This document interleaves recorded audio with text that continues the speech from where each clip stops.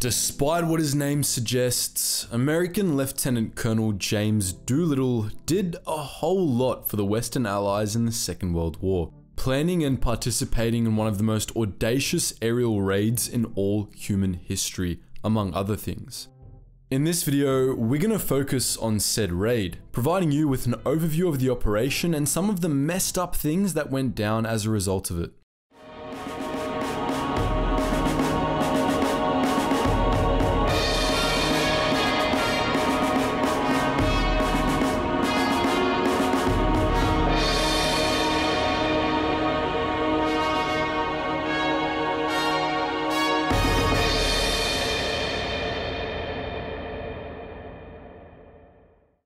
An eye for an eye. An attack on Japan for the attack on Pearl Harbor.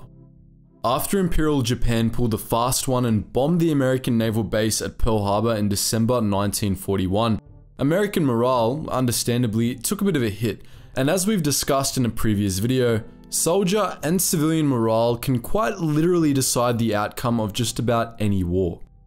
To boost their country's morale after Pearl Harbor, the high-ups of the US started concocting a recipe for a revenge. While the wheels were somewhat in motion before he was onboarded, Lieutenant Colonel James Doolittle, a Top Gun level pilot and aeronautic wizard, took charge of the operation early in 1942, using his mad skills and know-how to prepare a dish the Japanese would never forget. The plan was to lay waste to Honshu, Japan with carrier-based American bombers, demonstrating to the Japanese that their home islands were not, in fact, safe on the other side of the Pacific Ocean. To achieve this, however, Doolittle had to overcome a plethora of logistical challenges. Firstly, to increase the range of attack, Doolittle needed to figure out where the bombers would land after they delivered their payloads. While a location inside the Soviet Union was considered, it ended up not working out because the USSR and Japan were bound to a neutrality pact at the time. Ultimately, Doolittle came to an agreement with the Chinese who would allow the bombers to touch down in China, refuel, and go on their way. Such a route meant that the bombers would have to fly some 4,400 kilometers or 2,750 miles and all without fighter escorts. Doolittle's next task was to figure out which model of bomber would best suit the job, which included delivering a 910 kilogram or 2,000 pound bomb load. Ultimately, he settled on North American B-25B Mitchell medium bomber, of which he employed 16 in total.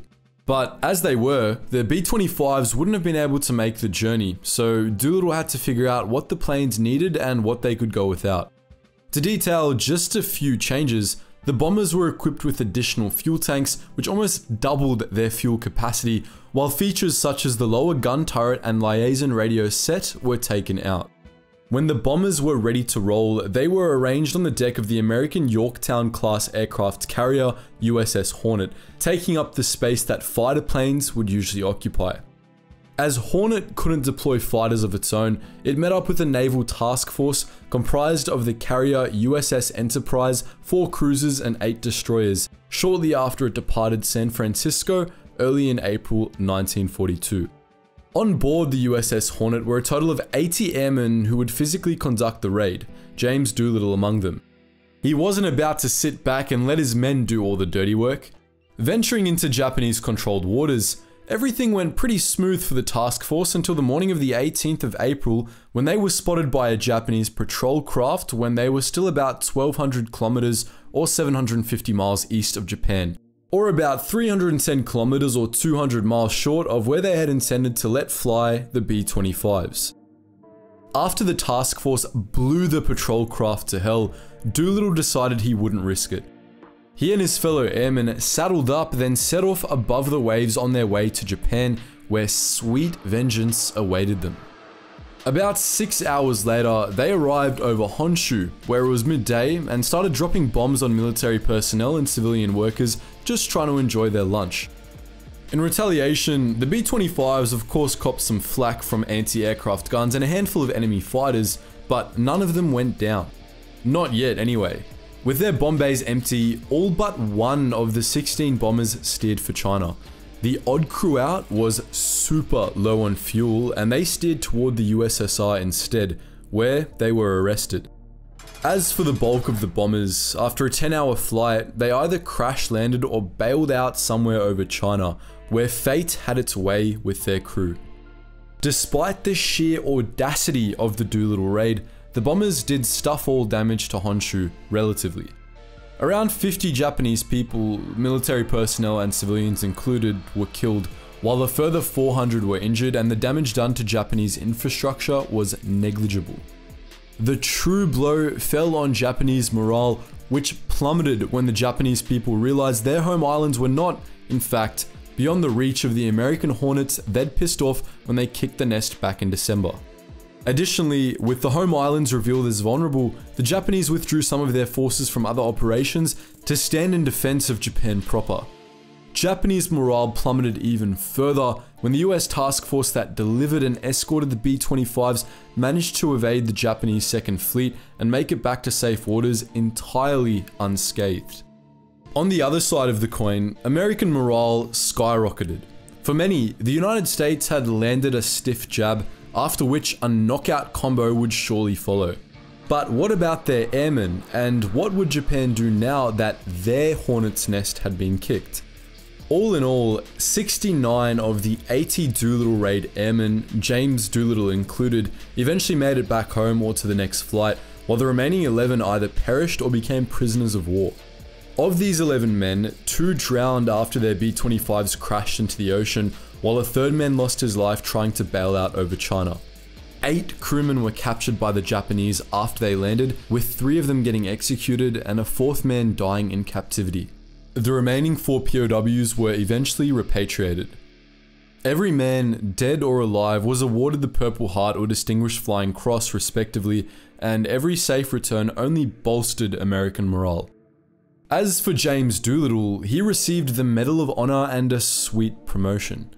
But in regards to a price paid for the Doolittle raid, 11 casualties hardly compares to what the Chinese ended up paying simply for helping the Americans. While they had other motivations, a big part of what inspired the Japanese to carry out Operation Sei-go or the Zhejiang Jiangxi campaign was revenge for China's smallish role in the Doolittle raid. From the 15th of May to the 4th of September 1942, the Imperial Japanese Army brought ruin to the people of Jiangxi, China, killing as many as 70,000 Chinese military personnel and 250,000 civilians, an estimated 10,000 when they were searching for the downed American airmen alone.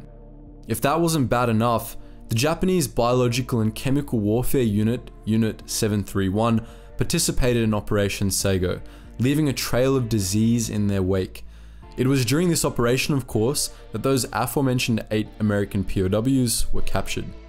Reflecting on the Doolittle raid in July 1942, James Doolittle himself said, it was hoped that the damage done would be both material and psychological. The psychological results, it was hoped, would be the recalling of combat equipment from other theaters for home defense, thus affecting relief in those theaters, the development of a fear complex in Japan, and a favorable reaction on the American people. With those goals in mind, it might be said that the Doolittle raid was a success. When you consider Operation Sei-go, however, it might be a little harder to throw around a word like success. But we're interested to hear what you think. Do you believe the Doolittle raid was a success? If so, why? Lastly, had you even heard of Operation Sei-go before this video? Please let us know that and more in the comment section below. And just before you go guys, I do want to plug once again our new Braved channel. We've hit 10,000 subscribers and we've got around 9 videos now on the channel that are just really high quality and we plan to keep updating that library every week where we go through some of the most badass people from all different eras. So if that sounds like it's up your alley, make sure you check it out. If you just want to listen to some music, go check out our Relax Jack music channel where we use some of the music posted there on this channel.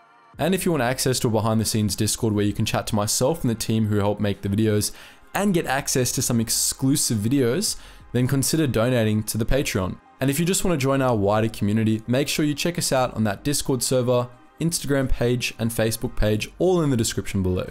Anyways guys, as always, thank you so much for watching and I hope you learned something new.